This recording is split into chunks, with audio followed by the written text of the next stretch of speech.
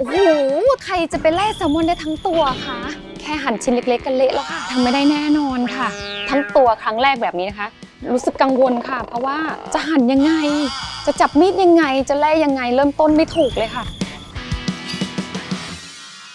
สวัสดีครับ ผมตามิสเตอร์ทีนนะครับ และนี่คือรายการ Mission ImposSeagull รายการที่จะทำให้คุณได้เห็นการทดลองสินค้าคุณภาพเยี่ยมผ่านภารกิจต่างๆ เพื่อพิสูจน์ว่า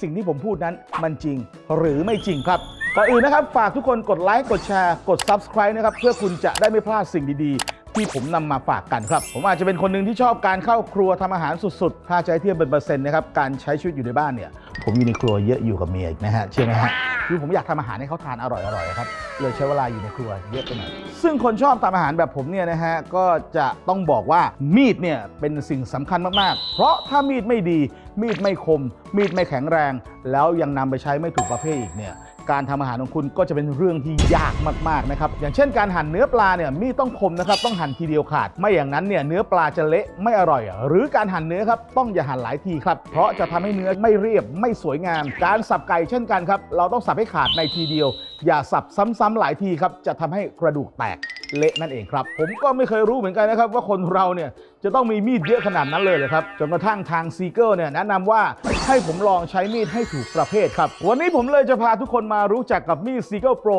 Series นะครับมีดสุดโปรจาก s e a g e l ที่มีความหลากหลายรูปแบบให้คุณเลือกใช้ตามความเหมาะสมกับประเภทของอาหารได้เลยครับ เจ้ามีด s e a g e Pro Series ผลิตจาก Stainless Steel เกรด X40CR14 เป็นเหล็กกล้าไร้สนิม ที่มีปริมาณคาร์บอนสูง ซึ่งเป็นระดับความแข็งที่เหมาะสมสำหรับการทำมีดครับ ช่วยให้มีดเนี่ยมีความคมได้ยาวนาน และด้วยการที่เป็นใบมีดชิ้นเดียวยาวสุดปลายด้ามครับช่วยเสริมความแข็งแรง และสมดุลน้ำหนักให้กับมีดครับด้ามจับของเรามั่นคง เพราะด้ามจับยึดหมุด 3 จุดไม่หลุดง่ายๆครับช่วยเสริมความแข็งแรง ความสมดุลให้กับน้ำหนักของมีด มีแบบให้เลือกใช้เยอะมากๆเลยครับและแต่ละอันเนี่ยก็เหมาะแตกต่างกันตามการใช้งาน ผมบอกได้เลยนะครับว่า ถ้าคุณได้ลองเปลี่ยนตัวเอง ให้ใช้มีดให้ถูกประเภทแล้วเนี่ยการทำอาหารของคุณจะง่ายขึ้นมากครับ แล้วเรามาดูกันนะครับว่ามีดแต่ละอันเนี่ยมีอะไรและเหมาะสมกับการใช้ประเภทไหนบ้างครับหนึ่งครับนี่คือมีดเชฟครับต้องมีติดบ้านเลยนะครับ เพราะสามารถใช้ได้สารพัดสิ่งครับ ไม่ว่าจะเป็นการหั่น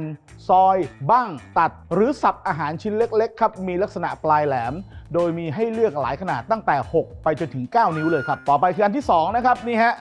มันมีชื่อเรียกว่ามีดอเนกประสงค์นะครับ มีดอันนี้จะเหมาะกับทั้งปอกหั่นบั้งซอย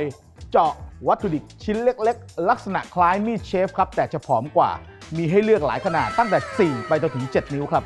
และอันนี้ครับใหญ่ขึ้นมาหน่อยครับ อันนี้เรียกว่ามีดครัวนะฮะจะมีลักษณะใบมีดกว้างครับ เกือบเท่ากันตลอดใบ ปลายด้านบนมน ด้านล่างแหลม ซึ่งเวลาหั่นจะทำให้มีดและเขียงขนานกันพอดี เหมาะสำหรับการหั่นอาหารที่เป็นแถวหรือเป็นก้อนได้อย่างสวยงามครับ ซึ่งมีดของซีเกิลเขาเนี่ย จะมีร่องเว้าทำให้พื้นที่ผิวสัมผัสของอาหารกับตัวมีดลดน้อยลงครับ เวลาหั่นวัตถุดิบก็จะไม่ค่อยติดมีดหั่นได้ง่ายขึ้นครับ และนี่ฮะอย่างเท่เลยนะครับ เรียกว่ามีดแล่ครับ เอาไว้สำหรับสไลด์เนื้อ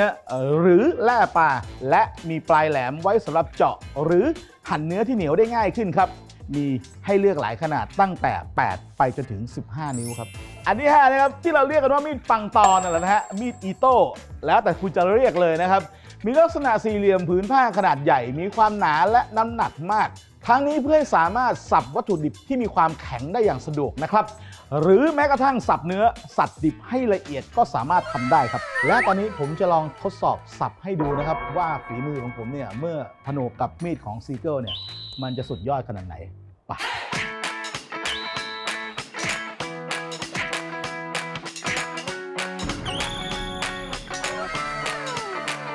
เดี๋ยวจะหาว่าผมป้ายยา ผมยังมีคนอีกหนึ่งคนนะครับที่เขาจะมาทดลองด้วยครับวันนี้ แต่ว่าจะไม่ได้ทดลองแบบธรรมดา ผมจะมีภารกิจให้เขาครับ จะเป็นยังไงไปดูกันครับ มันจะอะไรขนาดนั้นครับ คุณพิธีกรครับ ก็แค่มีด มันจะไปยากอะไร กับอีกแค่หันหันให้มันขาดขาด จะต้องมีเยอะแยะหลากหลายอะไรขนาดนั้นครับ แต่ก็เอาเถอะครับ ถ้าสิ่งที่คุณต้าเขาบอกว่ามันดี เราก็มีหน้าที่ที่ต้องลองดูให้รู้ไปเลยครับว่า มีดโปรซิลีสนั้นเขาดีจริงหรือเปล่าและนี่คือบ้านของแขกภารกิจ Mission Impossible ของเรา ไปทำความรู้จักกับเขากันหน่อยครับ สวัสดีค่ะ ชื่อจอยพิมชยาค่ะ ปัจจุบันเป็นคุณแม่เลี้ยงเดี่ยวนะคะ มีลูกสาวสองคนค่ะ กิจกรรมที่ชอบทำกับลูกๆนะคะ ก็ไปเที่ยวต่างจังหวัดกันบ้าง แล้วก็ไปหาอะไรอร่อยๆทานกันค่ะ อาหารโปรดของเด็กๆล่ะคะ ก็เป็นแซลมอนซาชิมิค่ะ อันนี้ไปทุกครั้งต้องสั่งตลอดเลยค่ะ ใครจะไปแล่แซลมอนได้ทั้งตัวคะดูยากมากเลยนะคะ ถ้ามีโอกาสก็น่าลองค่ะ เพราะว่าคงประหยัดขึ้นได้เยอะเลยอะค่ะ ภารกิจ Mission Impossible ในวันนี้ครับ เราจะขอท้าคุณแม่ ให้ใช้มีด Seagull Pro Series แล่ปลาแซลมอนทั้งตัว ที่มีน้ำหนักถึง 4 กิโลกรัมแหมเดี๋ยวเราไปดูกันครับว่า คุณแม่จะทำภารกิจนี้ได้สำเร็จหรือไม่ โอ้โห ทั้งตัวเลยเหรอคะ แค่หั่นชิ้นเล็กๆกันเละแล้วค่ะทำไม่ได้แน่นอนค่ะ แต่ไม่ต้องกังวลครับ เพราะว่าวันนี้ทีมงานมีชุดมีด Pro Series จาก Seagull แล้วก็มีเชฟอาหารญี่ปุ่น มาสอนพี่จอยทำไปพร้อมๆกันเลยถ้างั้นเชิญเชฟหมูครับและบุรุษหนุ่มผู้นี้ก็คือเชฟหมู เชฟรุ่นใหม่ที่มีความชำนาญในด้านอาหารญี่ปุ่น ผู้ที่จะมาช่วยปรับเราอาธรรมคำจุนแขกภารกิจคนดี ด้วยชุดมีดโปรซีรีส์ชุดนี้ละครับพร้อมไหมครับพี่จอย พร้อมมากค่ะ ถ้าพร้อมแล้ว วัตถุดิบครับ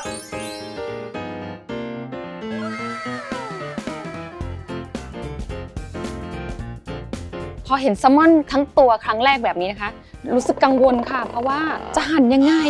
จะจับมีดยังไง จะแล่ยังไง เริ่มต้นไม่ถูกเลยค่ะ การแล่ปลานี่เราต้องทำความสะอาดปลาให้สะอาดก่อนนะครับค่ะต้องจับยังไงคะเชฟ จับหัวก่อนครับ จับหัวเหรอคะ ครับ ใช่ หลังจากทำความสะอาดปลาเสร็จนะครับ เราจะมาเริ่มแล่ปลากันนะครับ ผมอันดับแรกเราต้องใช้มีดเชฟก่อนนะครับ วิธีการแรกนะครับ เราตัดหัวก่อน แล้วก็ดึงขึ้น เริ่มต้นเลยค่ะ ก็เชฟให้ตัดที่หัวปลาก่อนเลยค่ะ แล้วก็ไม่มั่นใจเลยค่ะว่าจะตัดได้ขาดเหมือนเชฟอะค่ะ แต่มีดคมมากจริง ๆ ค่ะ หั่นชึกเดียวหัวขาดเลยค่ะ ขั้นตอนที่สองนะครับดูก้างตรงนี้เห็นไหมครับค่ะนะครับสไลด์มีดขึ้นไปข้างหน้า แล้วก็สไลด์ไปสไลด์ไปช้าๆนะครับ ให้มันเสียงดังแก๊กแก๊กแก๊กแก๊กนะครับมันจะเป็นสีขาวประมาณนี้นะครับ ค่ะ คือวิธีใช้ได้ ลองเลยเหรอลองคะดูครับ ตื่นเต้นมากเลยค่ะอ่าขั้นตอนต่อไปนะคะ เชฟก็ให้แล่เนื้อปลาค่ะ ดูเชฟครั้งแรกเหมือนจะง่ายค่ะ แต่ก็ง่ายจริง ๆ ค่ะ มีดคมมาก ตั้งแต่คอปลาถึงหางปลานี่ชึกเดียวเลยค่ะ มีดคมมากค่ะโอ้โหเชฟถือว่าโอเคเลยนะครับโอ้ขอบคุณค่ะ ขั้นตอนต่อไปนะครับ ผมเราจะเลาะก้างขึ้นนะครับ ดูก่อนนะครับ ตายเลยทีนี้ ยกตัวนี้ขึ้นนิดนึง เพื่อปาดตัวนี้จะประมาณนี้ครับดันแตะเริ่มเข้าเลยไปครับตรงนี้นะคะ ใช่ครับ ตัดเลยนะคะเชตัดฟเลยครับถลายลงมา โอเค โอ้โหแล่ได้จริง ๆ ด้วยค่ะ ทีนี้นะครับขั้นตอนที่ 3 เราจะถอนก้างออกนะครับ ก้างจะมีอยู่ตรงนี้ 3 ชิ้นดึงไปเลยเดี๋ยวลองดูครับ เอาละ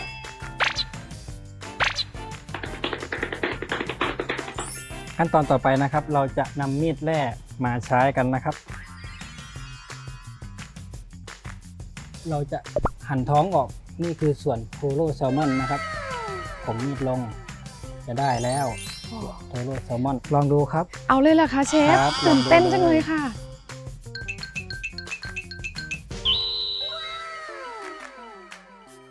สวยงามครับ ขั้นตอนต่อไปนะครับ เราจะมาเริ่มแต่งปลากัน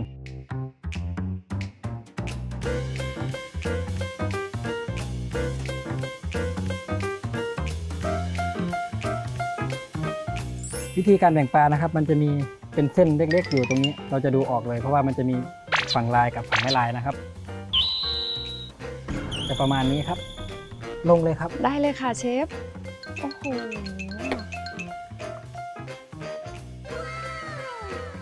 วิธีการถอดหนังตัวนี้ออกนะครับ มีดจะอยู่ตรงนี้ มือจะข่มตรงนี้นิดนึง เพื่อให้มีดจะถลายลงไปตรงนี้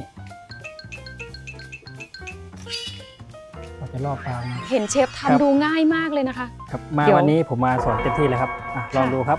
กดไว้ใช่ครับ แล้วยังไงต่อคะแล้วเชฟก็เอานิ้วไปจับเนื้อปจัลาบหนังนะคะ ครับปึ๊บโอเคครับ โอ้โห ได้ด้วยค่ะเชฟ สวยงามมากครับ โอ้โห ปกติโอเค ถ้าแล่ที่เองที่บ้านเนี่ยเละแล้วนะคะ ต่อไปนะครับ เราจะเอาหนังออกเป็นส่วนเกินนะครับ สุดท้ายแล้วนะครับ ค่ะ ขั้นตอนนี้จะเป็นการหั่นเป็นซาชิมินะครับ เพื่อจะค่ะ ลงจานกันนะครับ อืมมีดต้องจับกันอย่างนี้นะครับ การทรงตัวมีดน้ำหนักมีดมันจะไม่เบาจนเกินไปนะครับ แล้วก็ถลายลงมาอย่างนี้เลยนะครับ ค่ะเสียงอย่างนี้ทีนะคะเดียวนะครับ อย่าไปยึกยักนะครับ เดี๋ยวเนื้อปลาจะเละโอเคครับ สวยเลย พอทำไปเรื่อยๆนะคะ ก็รู้สึกเหมือนง่ายอะค่ะ เพราะว่าดูจากเชฟตอนแรกแล้ว คิดว่าจะยากแต่ไม่เลยค่ะ เป็นเพราะมีดนี่แหละค่ะ ที่มันต่างจากมีดที่เราเคยมีที่บ้าน ซึ่งมันคมมากตัดได้ขาดเฉือนได้คมจริง ๆ ค่ะ ต่อไปจะเป็นการวางจานเพื่อรับประทานนะครับ เราจะเอาสันขึ้น เราจะวางปลาอย่างนี้นะครับค่ะ แล้วก็ม้วนม้วนเหมือนเอ่อยังดไงอกกุหลาบเลยดนะอกคะกุหลาเชบ ฟโอ้โหประสมาวยณนี้น่าครับทานขึ้นเลยค่ะเชฟ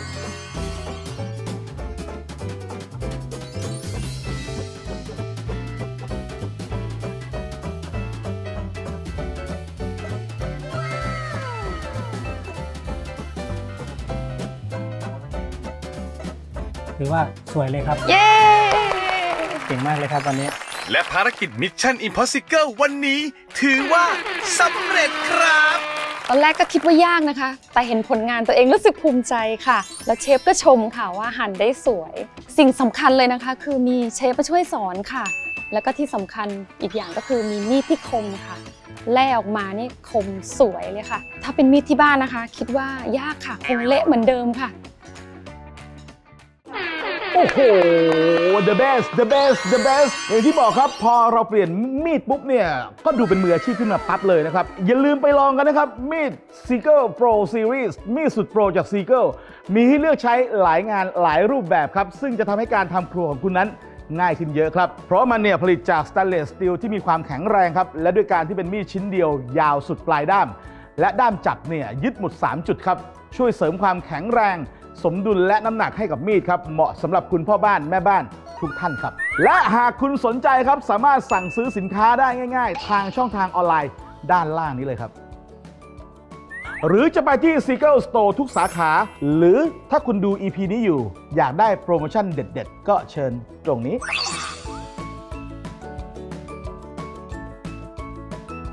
ครั้งหน้าครับมาดูกันนะครับว่าผมจะเอาสินค้าคุณภาพจาก Seagull ชิ้นไหนมาทดลองให้คุณผู้ชมได้ดูกันนะครับ ยังไงฝากทุกคนกดไลค์กดแชร์กด Subscribe ให้กับ Mission Import s e g e l ด้วยนะครับ แล้ววันนี้หมดเวลาแล้วครับ ผมขอตัวไปก่อน สวัสดีครับ เจอกันเทปหน้าครับ